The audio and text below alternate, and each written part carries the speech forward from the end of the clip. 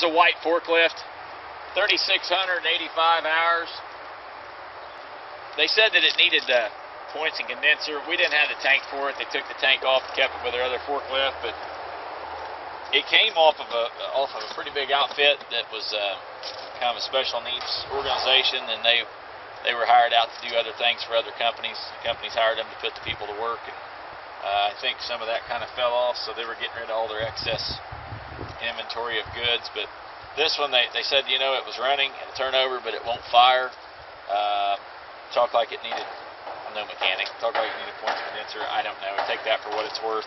Got real decent rubber on it. Very straight machine, has been shedded. We just did get it in. We're going to sell it absolute on Tractor House Auction. It does have three foot forks on it. And